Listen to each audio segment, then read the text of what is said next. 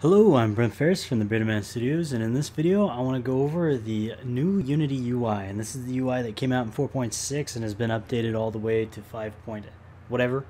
I'm working in, uh, I think 5.2 or something like that. So I'm going to show you how to get started, and I'm going to cut these videos up into pieces so that you guys can watch only what you're kind of curious about.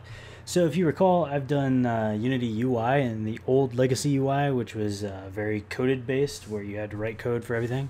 So in this one, you actually don't have to write any code. It's uh, click and make and drag and drop and uh, so what you really want to do uh, whenever you're designing these out is uh, you want to think about anchors and all kinds of other stuff and you want to think of them as game objects. So uh, we're going to go ahead and get started uh, with the very first part of just the various UI elements that we have so uh, something we can do we can right click over here and we go to UI and we can go over here and we can pick things like uh, canvas panel scroll view any of these uh, Canvas is usually how you start. It'll create an event system for you. We'll talk about the event system later. Uh, I believe you can also go do it up here, so you can go to Game Object, UI, and then you can find all of those in here. So what we're going to do is we're going to start with a canvas. I'm going to click on that. That's going to, instead of our scene view, it's going to make a big white outline box. And this thing is massive compared to everything else. And that's okay. Uh, whatever you see in here is going to be rendered via UI camera, and it's not going to be showing up in your main camera unless you want it to uh, for, for any kind of three-dimensional reasons. So you can see it created a canvas, and uh, like I said, it creates this event system along with it, so don't delete that, keep that in there. We kind of use that for a lot of stuff. So uh, canvas is basically our very top level part of the UI, and this is a game object, so you can come over here and you can save it as a prefab if you want, and drag out that prefab whenever you want, all that kind of stuff. Um, I just made that red. I'm going to create another one just because I don't like it being red. So uh, there's a few things that you uh, have inside of your UI options. You have text, which is basically just, you know, text. You can type out stuff and it'll show up. Uh, this is dynamic, so you can change the text on the fly and it'll change, uh, it'll change at runtime.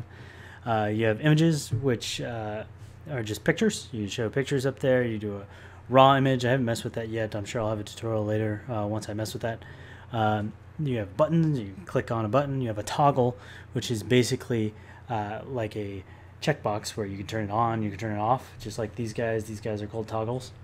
Uh, you have a slider. You can click and drag. There's a little what's called a thumb. Uh, you grab that thing and you drag it back and forth. It's good for like volumes or anything like that, lighting. Uh, you have a scroll bar, which we all have seen in our web browser. It's that thing on the side or on the bottom that goes up and down. You can click and drag it in order to move other things. Uh, you have a drop down. That's exactly what it sounds like. You click, it drops down with options. Uh, you have an input field. You, know, you, can click in the input field. You can type text. You can limit the input field to all kinds of stuff. We'll talk about that. Canvas, we told you, or I told you, it's just this uh, white bounding box that we have here. We have a panel. Uh, I like to use the panels for grouping things together. It can have background images and various other things. Uh, so this panel you can just drop in. You can drop in uh, child elements of this panel. It's good for grouping.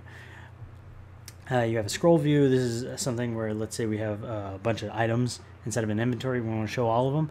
Uh, then all of them will populate, and you can have them uh, in a scrollable list where you can scroll them. And then, of course, the event system, which we talked about, uh, pops up up here. So uh, I'm going to create a quick button. So let's get used to that really quick.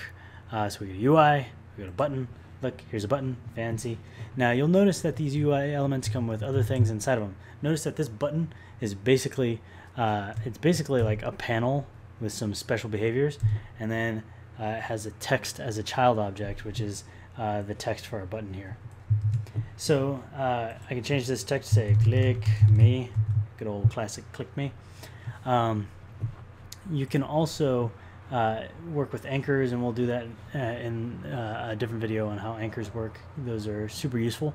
So now we have a button. It says click me. I can come over here, I can press play, it won't do much, but you know, I can and press play. It takes forever. Uh, click me. You'll see that it sits here and click, it clicks. So uh, that's basically the the overall setup. In the next videos, we'll get into. I want to get into anchors because they're so cool. So uh, we'll get into anchors in the next one. This is just a higher view of what the UI is and how you can get started with it. So uh, like, subscribe, and thanks for watching.